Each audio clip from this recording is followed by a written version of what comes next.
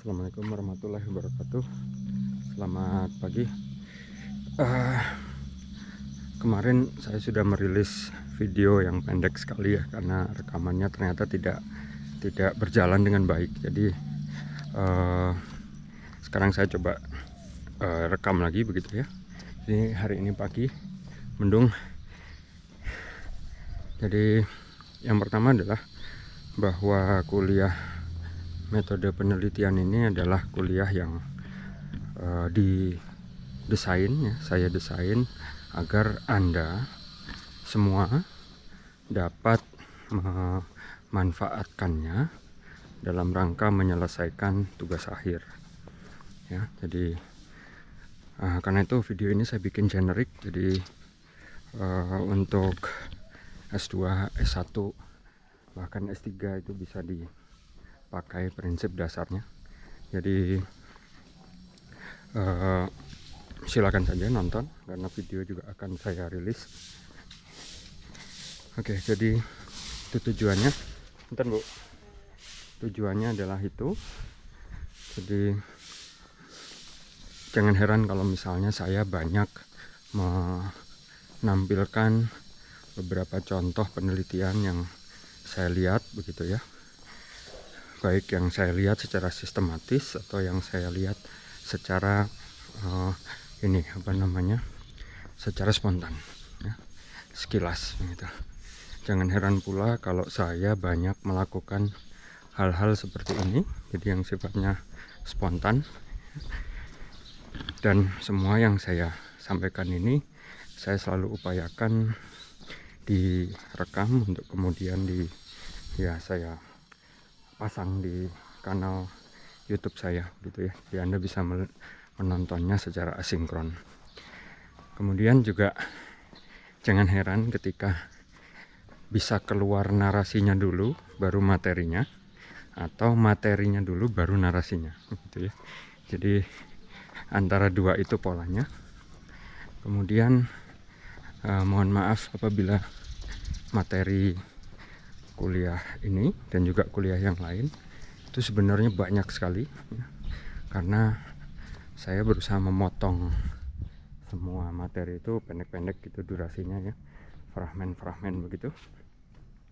Jadi selama periode 2019 2020 kemudian hari ini 2021 ya sudah terakumulasi material sangat banyak.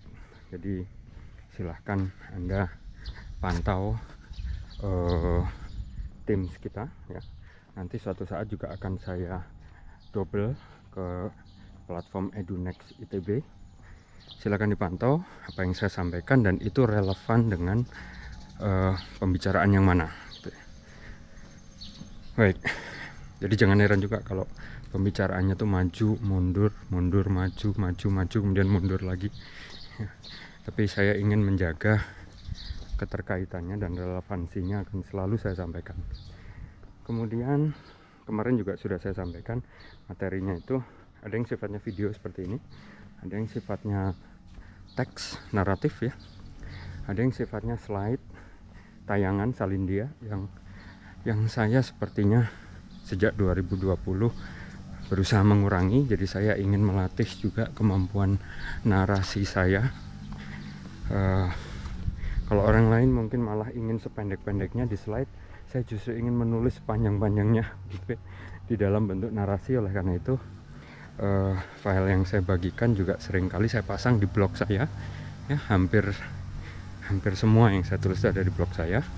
Itu juga nanti akan saya sampaikan. Uh, di Teams serta relevansinya dengan apa. Kemudian juga selama 3 atau 4 tahun terakhir ini saya berusaha menggambar. Menggambar dalam arti memang menggambar objek gitu dengan berbagai makna yang ada di baliknya. Dan makna yang coba saya tambahkan ya yang relevan dengan kuliah ini dan kuliah yang lain. Juga yang sifatnya tulisan kemudian skema ya tulisan saya lingkari ada tulisan lagi saya lingkari kemudian saya hubungkan begitu ya. Jadi kurang lebih seperti itu. Nah gambar itu juga saya inginnya uh, bisa anda lihat ya. Semoga bisa lebih nempel begitu karena alasan saya menggambar juga sebenarnya bagi saya sendiri agar saya bisa belajar lebih mendalam, belajar lebih banyak, belajar lebih cepat.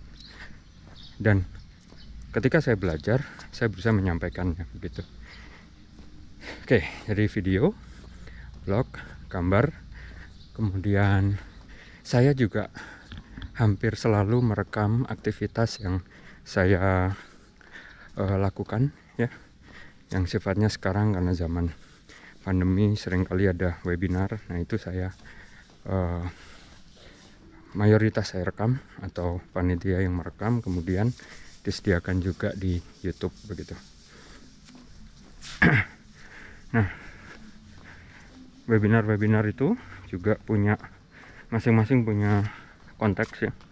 Punya konteks dan punya ini apa namanya audiens tertentu ya. jadi jangan heran juga kalau kadang-kadang bahasanya itu menjadi sangat plain sangat mudah. Kadang-kadang juga bahasanya menjadi agak rumit walaupun saya sangat hindari sebenarnya. Nah kurang lebih seperti itu. Jadi selamat mengikuti kuliah ini dengan dengan hati riang begitu ya. Dengan hati riang kenapa? Karena semua yang saya sampaikan ini suatu saat pasti anda pakai ya dan sejalan dengan kebijakan-kebijakan syarat lulus ini publikasi dan seterusnya. Uh, saya sangat mendorong anda untuk menulis seawal mungkin dan sesering mungkin ya. Jadi itu yang saya tangkap juga dari pergaulan saya di media sosial di Twitter yang mana saya banyak juga mengikuti eh, orang-orang uh, yang prominent ya di bidangnya. Salah satunya bidang pendidikan. Jadi banyak profesor di bidang air di bidang ilmu kebumian di bidang sains secara umum ya. Tentang perpustakaan dan lain-lain tentang literasi dan lain-lain itu banyak yang menggunakan Twitter juga. Jadi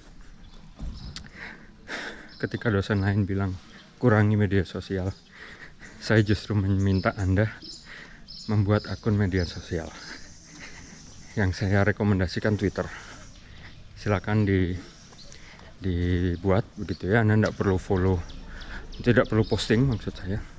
Yang penting follow orang-orang yang Anda anggap dapat menularkan ilmu begitu ya. Nah jangan khawatir kalau di media sosial itu biasanya Anda follow satu orang maka kemudian Anda lihat profilnya Anda lihat siapa saja yang dia follow begitu. Dan Anda follow orang itu dan lakukan itu berulang-ulang maka suatu saat Anda akan mengakumulasi berbagai segmen ahli ya pakar yang terkait dengan tugas akhir Anda dalam dalam lingkup yang sempit ya karena kita hanya bicara tugas akhir. Tapi dalam lingkup yang luas itu sebenarnya bisa membantu Anda untuk bahkan mungkin untuk karir Anda ya. Jadi kurang lebih seperti itu. Nah yang terakhir ujian. Ujian akan saya berikan tapi saya yakin itu tidak akan memberatkan. Karena saya tahu uh, Anda sudah banyak men harus mengerjakan ujian-ujian yang rumit. Saya pikir ujian saya tidak rumit. Nah kemudian saya harus putar jalan karena ada orang punya proyek di sana berisik. Nah kemudian tugas juga saya berikan tapi mestinya tugas itu bisa sekalian sekaligus menjadi jalan untuk anda menyicil ya. Tugas akhir menyicil. Mungkin anda merencanakan untuk menulis sesuatu begitu ya kurang lebih seperti itu jadi sampai ketemu di video selanjutnya dan untuk tatap muka kita akan mencoba melakukan perjanjian lewat Teams Semoga semua bisa dengan kelapangan waktu masing-masing. Terima kasih, selamat pagi, assalamualaikum warahmatullahi wabarakatuh.